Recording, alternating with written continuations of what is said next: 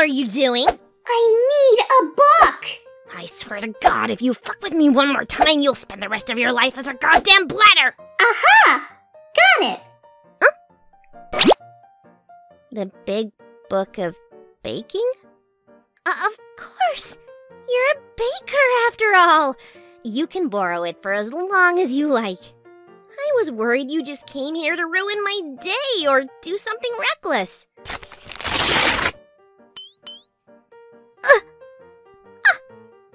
Are you actually fucking brain damaged?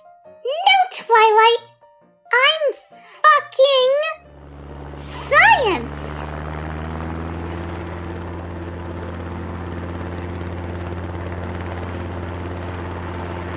See you later, Twilight!